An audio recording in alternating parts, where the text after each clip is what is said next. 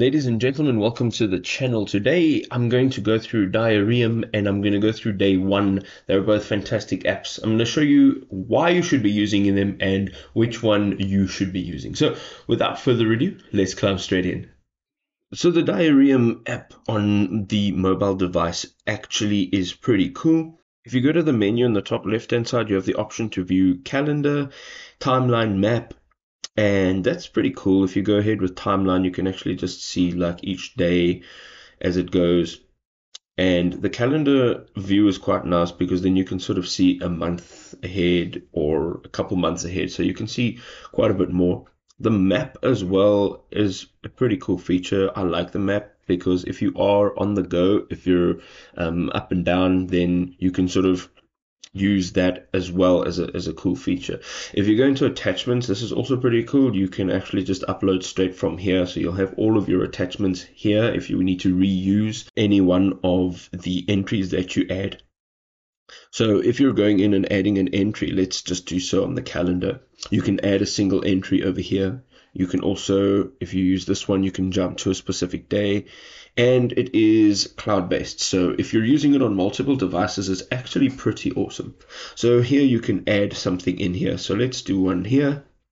And of course, you can add photos, tags, ratings, audios. You can even add uh, documents and as well as that location. So that's that's pretty cool. I like it quite a bit. Uh, one of the other things I fancy here is if you go into settings there's quite a few options, but you can actually go down to templates, and there's a couple templates that you can actually use here, which is pretty cool as well. You can also change a lot of the look and feel of the app, so the font size, color, the theme and that sort of thing. So I think that's pretty awesome. The only one downfall that I kind of see here, I just want to jump over to my computer.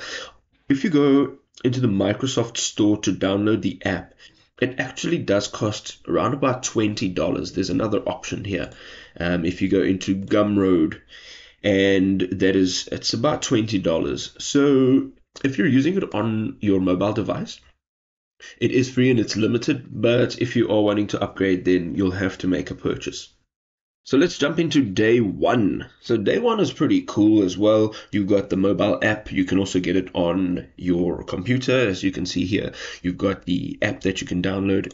And, you know, if you're jumping into some of their features, you can see that it's, as they say, simple to use, and it's got a lot of sort of customization tools over here. Okay, they obviously very big on security as well, which is always a great thing.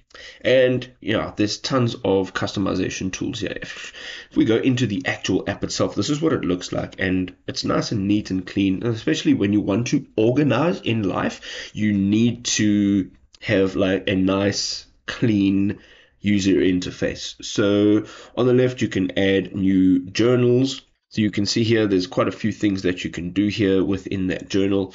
And on your left hand side, if you go into settings, you can actually also change quite a bit of the appearance, such as the theme. There are quite a few other features such as daily prompts you can add in there.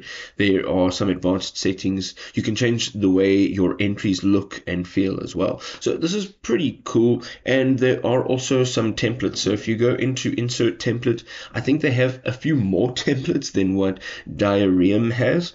So you can see here like there's quite a lot to do and all of these templates do of course uh, give you the opportunity to customize them completely. So you can literally just use the outline and you can just add in all of your details.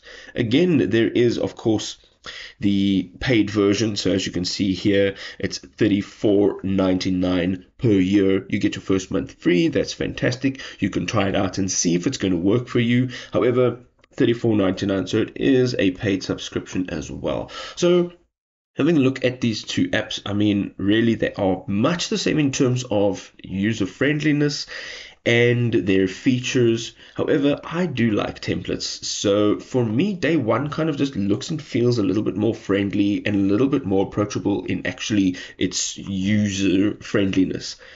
What do you folks think? Let us know in the comment section below, and we will see you in another awesome video. Peace out.